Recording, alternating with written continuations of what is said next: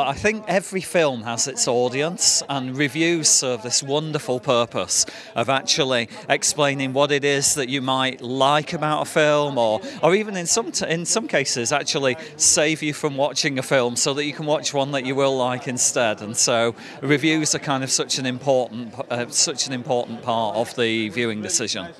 Of course, IMDb has become a fundamental part of most people's uh, experience when it comes to that. Um, what's the future for IMDb?